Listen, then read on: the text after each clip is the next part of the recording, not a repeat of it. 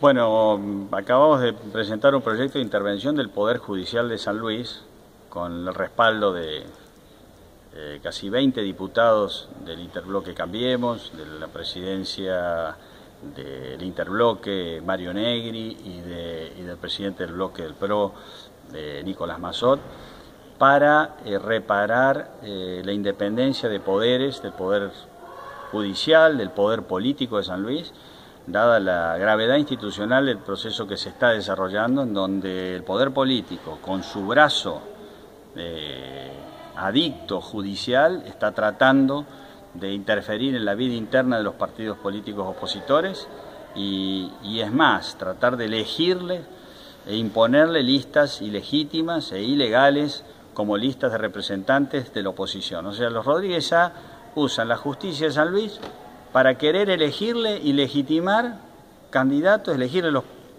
candidatos a la oposición y legitimarlos, no los que quiere la oposición, que son los que elegimos nosotros, los partidos, sino otras listas con operadores políticos y con personajes que se prestan para dividir a la oposición, como ocurrido en otras, en otras eh, épocas de nuestra, de nuestra democracia en San Luis.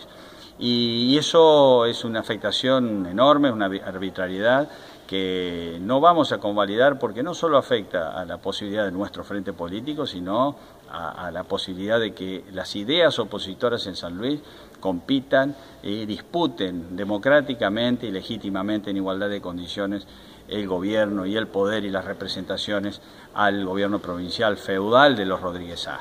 Esta podría decir que la frutilla del postre de esto es que quien termina eh, decidiendo el destino de la oposición es la presidenta del Superior Tribunal de Justicia, Lila Novillo, que además actúa como miembro del Tribunal Electoral de la provincia, la máxima instancia para recurrir, y Lila Novillo confesa públicamente, militante del partido gobernante, afiliada al partido gobernante, fue miembro del Superior Tribunal de Justicia, lanzó su candidatura a intendenta siendo miembro del máximo tribunal judicial. Perdió las elecciones y cuando perdió las elecciones volvió a ser miembro del Tribunal Judicial. Bueno, esa persona con esos antecedentes de dependencia, de sumisión política al poder de turno, hoy es la presidenta del Superior Tribunal y está tratando de imponer con sus fallos a, la oposición candidatos ilegítimos e ilegales. Por lo tanto, la, situación es suficientemente clara como para que se entienda la, gravedad, ¿no es cierto? Sí. Y buscamos la reparación política institucional y, por supuesto, la vía judicial a través de la Corte Suprema de Justicia de la Nación. Bien, el, proyecto de justicia lo presentó. Ya está presentado a las dos y cuarto del día de hoy. Hicimos una conferencia de prensa con el presidente del Interbloque, Mario Negri, con el presidente del bloque PRO, eh, Nicolás Mazot y diputados que nos eh, acompañaron, la diputada Banfi, el diputado Monfort, la diputada Carrizo, eh, el diputado Durros, que estaban presentes hoy aquí en el Palacio, y por supuesto la adhesión de,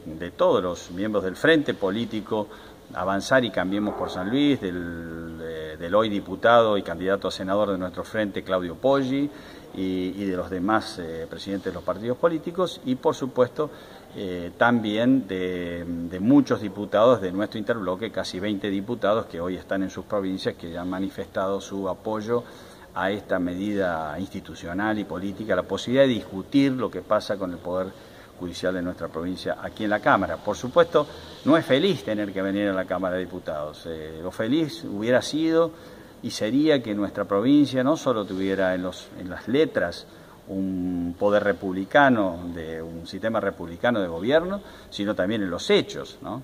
Pero bueno, todo el mundo recordará algunos años atrás donde el mismo poder de los hermanos Rodríguez A, con una justicia eh, adicta, trató de imponer una doble intendencia en la ciudad de San Luis. Hace algunos años atrás la ciudad de San Luis tuvo dos intendentes, uno legal y legítimo, elegido por la gente y otro ilegal e ilegítimo elegido por, el, por los Rodríguez A y apañado por una justicia en un proceso totalmente irregular. Bueno, llevó dos años para que la Corte Suprema de Justicia de la Nación reparar ese grave daño a la voluntad popular y diera por tierra y tirara abajo la doble intendencia, la, intendencia ilegítima. Bueno, tenemos la misma esperanza en la justicia de nuestro país, ¿no? una justicia independiente. ¿Qué viabilidad le ve usted para el tratamiento parlamentario? Bueno, es como todo proyecto, siempre digo, en nuestros feudos políticos eh, en el que vivimos en San Luis, eh, la, legislatura y el oficialismo provincial es prácticamente una escribanía del poder político. Así que ahí los proyectos eh, prácticamente no se discuten. Acá, en la Cámara de Diputados de la Nación, es todo lo contrario. Es un modelo justamente que está en las antípodas. Eh, y por lo tanto no sabemos cuál va a ser, porque lo mejor que nos puede pasar en la democracia es que no sepamos el resultado de un debate democrático, que lo tengamos que debatir. Pero ya en el hecho de debatir, de, mostrarle a nuestros comprovincianos que luchamos contra un poder arbitrario, eh, que la justicia la queremos para que cuide los intereses del vecino de a pie, no del poder, y para sostener el poder. Al contrario, que sea una justicia para la democracia, para el ciudadano, ya habremos ganado eh, mucho en, la, en la mejora de nuestra democracia y de nuestra república.